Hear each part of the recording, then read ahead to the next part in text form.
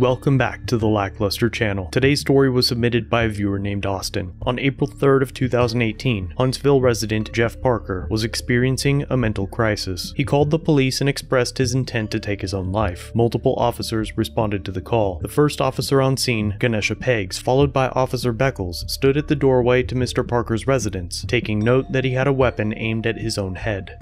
Cover on the door. You see anything?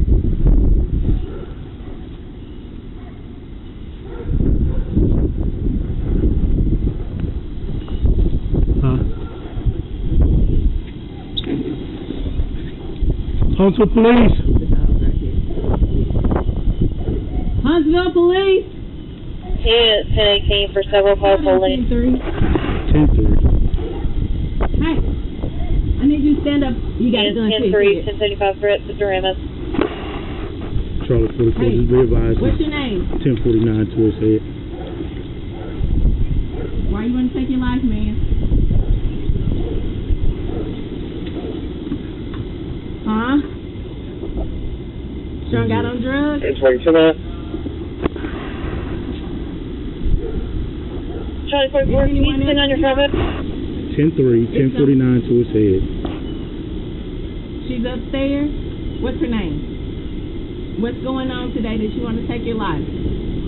The first two officers kept their composure and talked with Mr. Parker. While more than half of gun deaths in the United States are self inflicted, most threats like this one are solved by providing sufficient attention to the incident, and the victim can usually be persuaded to drop their weapon and are taken into protective custody through a PET team, also known as a psychological evaluation team, a resource made to almost all law enforcement agencies. An overwhelming amount of situations like this end peacefully, where threats are made instead of quietly being carried out in isolation. Patients that make threats often end up receiving some form of mental health care and are released to live out their life with various forms of support. It is a widely known fact that these types of calls are often calls for help or created to commit suicide by cop. Police are given protocols and training for these types of incidents. They are instructed to ensure the public and themselves are safe. They are warned that aiming a weapon at the patient increases their anxiety and exacerbates the situation. Officers are taught to use their communication skills as these are the most effective tools in these incidents. They are instructed to assign roles, establish a perimeter and staging area, request EMS to that area, calling in shields and canines, and to coordinate the entire response along with tons of other options to deal with this very fragile situation. They are not, however, trained to rush into the scene unprotected, instruct other officers to pressure the patient and aim weapons at them, and put their bodies into a possible lane of fire, risking their own and others' lives. Unfortunately for Mr. Parker, Officer William Ben Darby now arrives on scene, and in less than a minute he abandons all standard operating procedures and does everything he was trained not to do.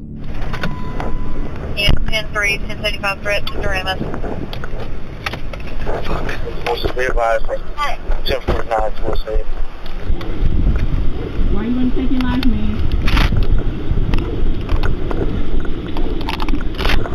Huh? Strung out on drugs? It's waiting for that. Charlie 44, can you send on your phone? 10 3, 1049 to his head. She's upstairs. What's her name? What's going on today that you want to take your life? Put your fucking gun at him. Put, his, put the gun down. Put the gun down. He has it to his head. I don't want anything to happen to you right now. He can shoot you. Listen, he's right here in front of me. Look. Hey, brother. Put the gun down. Put the gun down. Hey, brother. Put it down, bro. Put the gun Put it down. I'm not going to tell you again. Please, please, lower the gun. In less than a minute of his arrival, Officer Darby fires a single round, ending Mr. Parker's life. Not a single officer on scene attempts to provide medical attention to Mr. Parker. In fact, after the incident, Officer Darby seemed more concerned with hiding whatever was in the trunk of his cruiser as he blocked his body cam lens and passed a still unknown object to another officer before his vehicle, person, or personal effects could be investigated after the murder. They ain't to take my sidearm, are they? They are going to have you download it, but I don't think they'll take it from you. anytime. No, my sidearm. Echo 44, can you it did send on that come 80? with This gun. Yeah, they're gonna take it from you. Take down a load it. 44 is I didn't shoot it. 6988 Shoot a Mount shotgun. Drive. Then they'll take the shotgun. They're not going to take this. They're not going to make me unload it. Probably not. Am I allowed to have a backpack with me? You can have your car will stay right here. If not, we'll take it down to the precinct. No, at the end of shift, am I going to be able to get my stuff out of this car? Yeah. Oh yeah. You'll be able to take it to Greenbrier too. You just, I need you to. while you're on administrative duties after that, you will not be able to drive. I need you to hold something of mine in your trunk, and I need to get it to you. I need to get it from you today when I go home. That's fine. Where's your car?